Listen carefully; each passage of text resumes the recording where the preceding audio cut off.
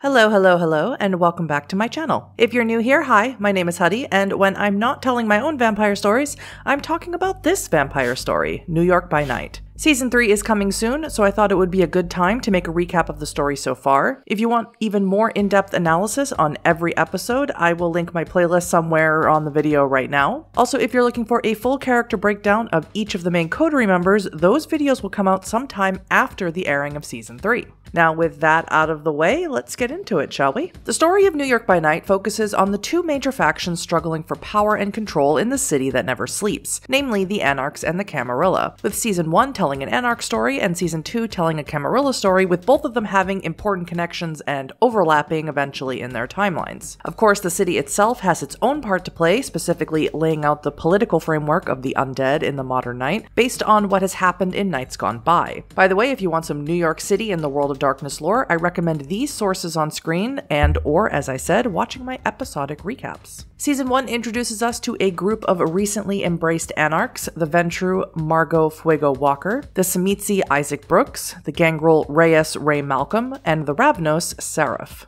After all of them made certain vampire faux pas in the domain of an influential anarch named Richter, these baby anarchs formed up as a coterie, Richter tasking them with a job, both as a repayment for their indiscretions in his domain and with a promise of turf of their own, should they prove competent, of course. Richter tells the coterie about a kindred named Drexler who was supposed to show up to pay his rent but never did, never even called to say he was going to be late, so he wants to know what's keeping him and for the coterie to give him a manila folder that he is to read and consent to. The coterie all agree to Richter's request, but really, what other choice did they have? Once the coterie arrive at Drexler's cab company, it quickly becomes apparent that he was held up against his will. With the cooperation of Isaac's two ghouls, Angela and Michael, the coterie are able to chase away Drexler's kidnappers, who happen to be a group of Hecata, specifically Putanescas. We learn that inside the manila folder is a note informing Drexler that he needs to uh, take off his hand and bring it back to Richter as uh, a punishment for not showing up, which he does agree to. Returning victorious, this newly formed coterie receive their own piece of domain within the Bronx, convenient for Isaac, who already has a haven in the area, and the coterie get themselves acquainted with their new boss's coterie. There's Consuela, his right hand that is prone to being jealous of anyone Richter pays attention to, Airbox, his gangrel enforcer, and Lizzie, his Malkavian oracle. Of course, it's not all tea parties and ice cream socials, as Richter informs them that the Hecata are on their turf, and now they are their problem, and it is their job to take care of it, and to not let it become a problem that he has to handle. So, as the coterie set out on a tour of their new neighborhood, they happen upon a watch group, or a neighborhood watch group, who claim to be out in force because they've heard talk of something monstrous wandering the streets. With no idea of what they could possibly be getting into, they head out into the night, searching the locations told to them by the group. Eventually, they run into a creature, at one time a vampire, but now mindless, no traces of humanity, completely consumed by its beast, what kindred call a wight. Attacking as a unit, the coterie are able to inflict some damage on the creature, but it quickly becomes apparent that it is not easily defeated. Suddenly, out of nowhere, a car slams into both the wight and Ray, causing Ray damage and forcing the wight to flee by leaping up above a nearby bridge into oncoming traffic. The coterie take note that this mysterious car is a vintage hearse and it's being driven by Kat Costello, a Hecata they met their first night at Richter's. Kat chastises them for attempting to go after something like a wight, and she also goes on to voice her concern that the wight is the result of a renewed Sabbat presence in the city. Kat eventually gets down to business, asking the coterie if they know of Marco Putanesca. Coterie claim to know of the Putanescas and admit to kicking the asses of some at Drexler's place a couple nights earlier. Kat tells them that the Putanesca are trouble and she offers to keep them off the coterie's back in exchange for a favor. She tells them about the HMS Hussar, a ship that ran aground and sank off the coast of New York in 1780, and about its captain, a man she calls Charlie. Kat claims to want to speak to his ghost, but his remains are underneath a development called the Crescent, and asks the coterie to bring back his skull, to which they agree. The next night, the coterie make their way toward the Crescent, and as they travel through what will someday be an underground car park, I assume, the coterie suddenly come face to face with armed mortals. And although social subterfuge is utilized, it doesn't go as planned, and an attack breaks out, leaving one guard dead at Fuego's hands and another severely, possibly mortally injured, who is saved only by Ray giving him some of his blood. The outing was not a total wash, however, as they did learn that any skeletal remains that have been found during the construction have been removed to a local local warehouse. This alerts the coterie to the likelihood that this development has at the very least a nefarious person behind it, and at the most likely a Camarilla kindred. As the coterie break apart for a bit, some for self-reflection, some for personal reasons, Isaac remains on task and makes his way into the warehouse. Eventually, he learns that it is a kindred named Nigel running this warehouse who works for a Camarilla Ventrue named Rafferty, which happens to be the name of Fuego's sire. Successfully intimidating Nigel, Isaac makes his egress, Bones in tow. As the coterie regroup and take a trip to visit Isaac's sire, who gives them the skinny on the Sabbat that Kat mentioned, they are more determined than ever to rid their domain of the wight. Taking the creature on once again, this time more tactical and prepared, they successfully defeat it.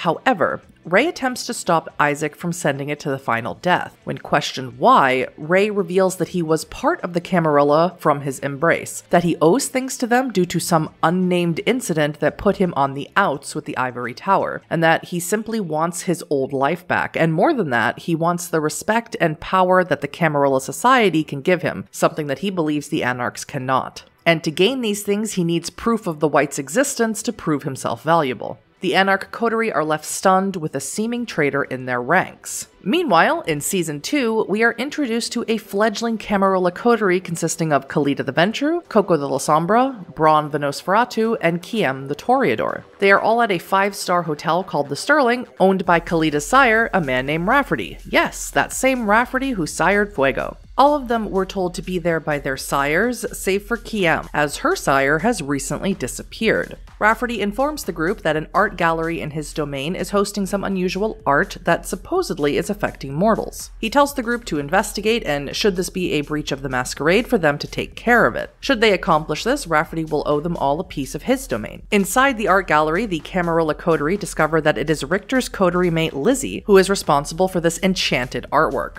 A fight breaks out as Kiem and Braun attempt to restrain Lizzie and bring her with them. With the aid of a little violence and a fire alarm, the coterie are successful in their mission. However, Rafferty only awards them a fraction of the domain he was going to offer them, as the extraction of Lizzie was not handled with any sort of finesse. Tasked now with returning Lizzie to the Anarch domain of the Bronx, the Camarilla get a glimpse of how the other side lives, and some of them are more than a little impressed. However, Kalita quickly learns of Fuego's existence, as Fuego has spent more than a few nights at the cage and people are aware of her. Before the cam leaves, Braun goes mano a mano with Airbox in the cage's fighting ring and comes out victorious, likely leaving a sour taste in many of the Anarchs' mouths. But of course, work for Rafferty seems never ending, and he swiftly sends the coterie to check on the workers of his warehouse because apparently a very intimidating kindred broke in and stole something. Of course, referencing what happened with Isaac in season Season 1 and alerting the coterie that Rafferty is the developer behind the Crescent in the Bronx, a territory technically outside of the Camarilla. As the coterie rolls up to armed and paranoid mortals, they neutralize them handily and eventually track down Nigel, the kindred who was in charge of the warehouse. Coterie learn that Nigel's memories of the events have been erased, so they decide to take him back to Rafferty. On their way out, however, the coterie are stopped by Prince Panhard and her sheriff Kadir al-Azmai. The two of them demand to know what their sires have been doing in the city, clearly aware that there is some sort of conspiracy afoot. The coterie, almost without hesitation, inform them of how they came together as a coterie, that all their sires are in a coterie together, Rafferty's business ventures in the Anarch territory, and Kiem's missing and likely destroyed sire. And of course, Rafferty's ambition to unseat the current Ventrue Primogen and claim the title for himself.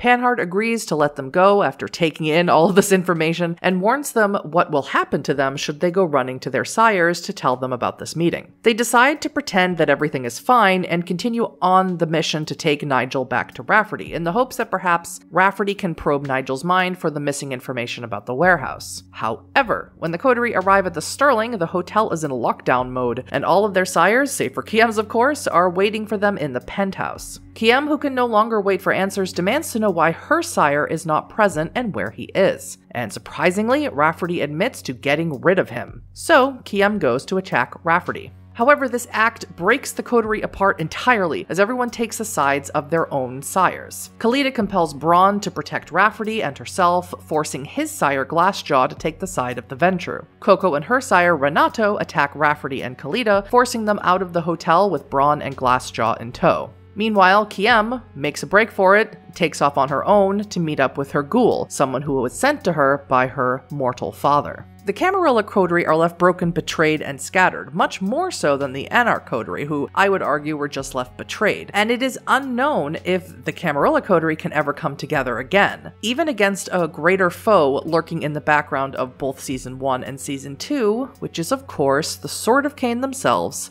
the Sabbat. If you enjoyed this video, consider giving it a like or subscribing to me, and I'll see you for Season 3 of New York by Night, where I will be recapping every single episode. Until then, bye bye.